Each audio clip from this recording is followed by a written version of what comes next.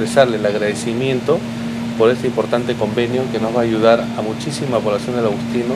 sobre todo aquellos eh, vecinos y vecinas más vulnerables a ser objetos de un cáncer. Desde 2014 a la fecha tenemos 5.000 pobladores beneficiarios sobre la atención de todo tipo de cáncer que se ha venido realizando ya en el Distrito Agustino. 15.000 mujeres que han, sido, han hecho ya sus exámenes de Papa Nicolau, que es muy importante también a, la población realizar ese tipo de trabajos. Capacitaciones,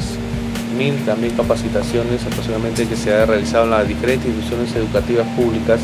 y privadas y organizaciones de base que tenemos en el Agustín. Agradecida del trabajo que desempeñan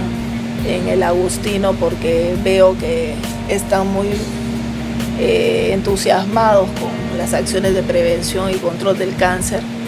y es una iniciativa que lo vienen impulsando con mucha responsabilidad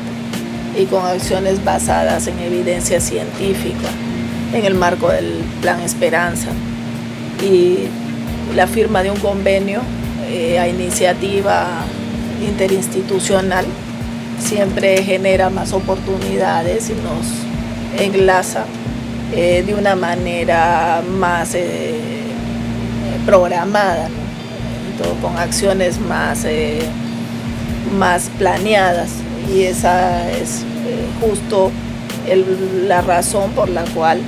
hacemos que los equipos técnicos interactúen, ya se convierte como en una sola plataforma.